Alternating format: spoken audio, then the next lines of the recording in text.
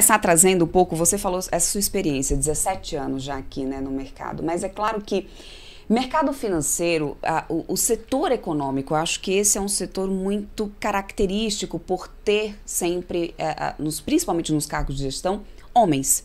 Né? Esse peso ainda é muito maior, não só na economia, mas é um dos setores que pesa muito mais isso.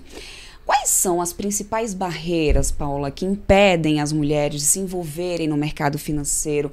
E como poder superá-las? Eu acho que você, melhor do que ninguém, 17 anos no mercado, eu tenho certeza que você já enfrentou muita coisa. Então, qual é, a tua, qual é a tua análise disso? É, é um setor, assim, majoritariamente masculino, né? Uhum. Desde a minha graduação. Quando eu estudei economia, já tinham muito poucas mulheres na minha sala.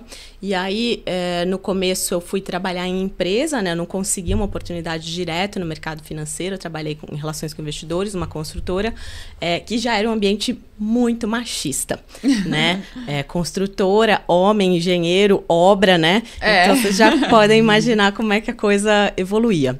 E aí daí eu fui para o mercado financeiro, achei que ia ser um pouco mais suave. Eu achei até o mercado financeiro menos machista, mas mais agressivo, né? Tá. É, e aí acho que é um pouco da dinâmica do, do negócio, né? É, habilidades que eu precisei, assim, desenvolver em mim, eu era aquela, uma criança, assim, tímida, delicadinha, uhum. introspectiva. Uhum. Aí eu precisei, assim, aprender a falar grosso. Porque eu vi que eu não me fazia escutar dentro daquele ambiente. E eu venho de uma família, assim, que sempre estimulou muito as ideias, as opiniões, né? O meu pai sempre me desafiou muito do tipo assim, você não precisa concordar comigo, mas você precisa ter uma opinião que tenha profundidade, uhum. né? Então eu vi que aquele era um mercado em que se pagavam muito por ideias e como eu tinha essa capacidade analítica, é, às vezes eu ia lá e queria falar alguma coisa, alguém me cortava e eu subia um pouquinho o tom. Falava, não, eu quero falar isso porque o que eu vou falar aqui é importante e ia até o final. E aí eu fui vendo que eu fui ganhando um pouco meu, meu espaço, né? Uhum. É, eu trabalhei num grande banco americano. Lá era um time de mais ou menos umas 30 pessoas, dos quais, na área de pesquisa, eu era a única mulher que era head de um setor. Entendi. Quando eu cobria o setor imobiliário lá.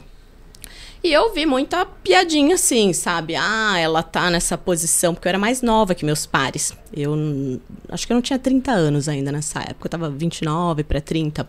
Os meus pares, que eram heads de outros setores, eram homens que tinham entre 40 e 50 anos. Uhum. Então eu era a única mulher e eu era muito jovem também. Uhum. E aí alguns deles falavam: não, ela tá aqui porque ela é protegidinha do chefe, aconteceu alguma coisa, faziam insinuações. E eu tentei não dar bola para isso, eu seguia, eu era muito discreta, fazia meu trabalho, falava, vou ter que talvez trabalhar um pouco mais para ganhar meu espaço. E, e, felizmente o negócio evoluiu bem.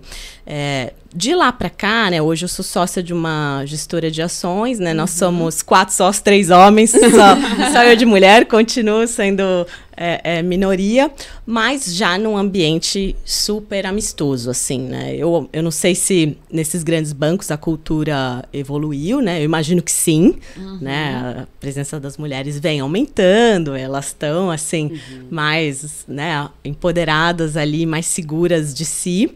É, mas realmente, Débora, ainda é um ambiente, assim, majoritariamente masculino.